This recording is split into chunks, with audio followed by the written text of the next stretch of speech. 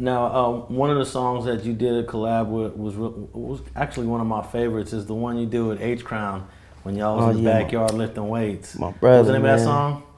Um, fuck Willie Lynch. right. Yeah. Fuck Willie Lynch. Real talk. Yeah, man, I miss that fool, man. So tell everybody um, a little bit about that song, H Crown, and you know, and what happened to him.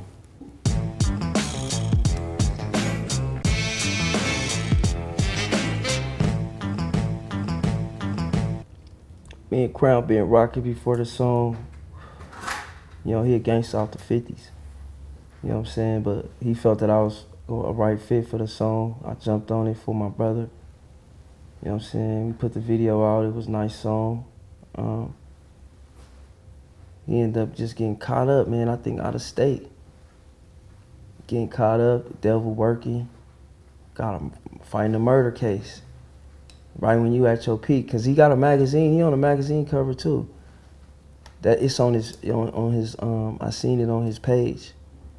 I forgot what it's called, but um, it be like right when you at your peak. Sometime shit happens, and that shit'll knock you all the way off.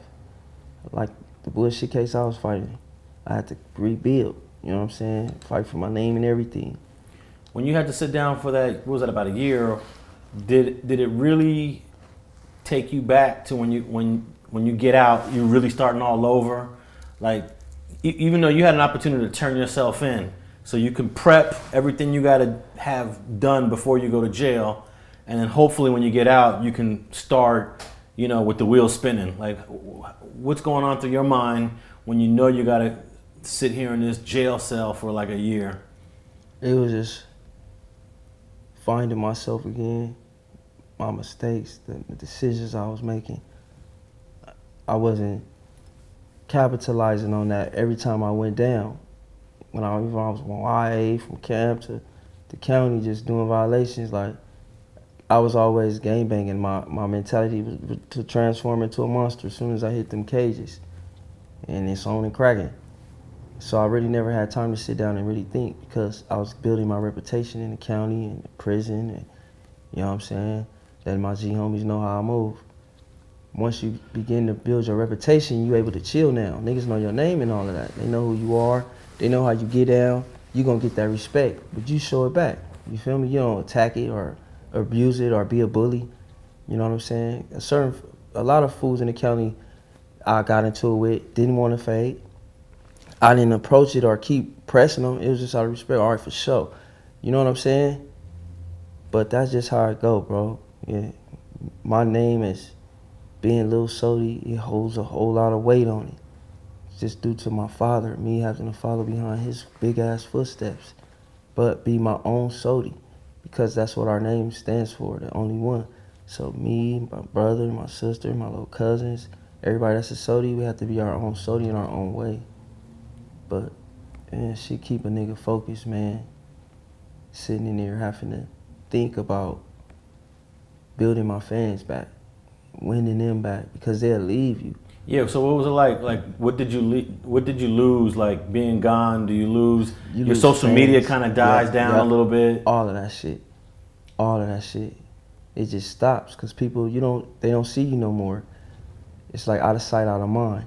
But when I went to prison and I post a post, I got like eight thousand viewers.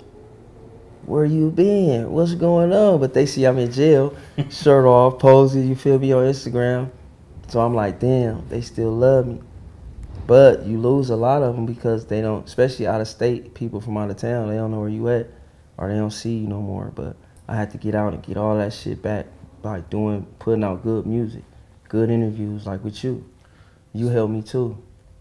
So what what do you what do you got to do to make sure you don't end up in that situation again? Because I'm sure that's the last thing you want to happen right now. Because it looks like you got some good momentum. right now I just I just be me, man. Like I said, like my life changed when my son died. Um everybody know who I am. I don't have shit to prove, you know what I'm saying? I am the face of my hood. You know what I'm saying? I'm the face now. A lot of G homies shout out to them. I love them. They had they shine too. but I'm the mascot of the set right now. Everybody know it.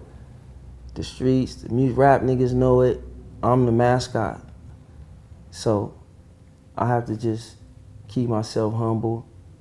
I watch what I post. You know what I'm saying? I don't be dissing niggas how I used to. You know how I was, bro. When I dropped hard in the paint, that was me. I was really still, you know what I'm saying? But I'm just more humble now. I, I view life different.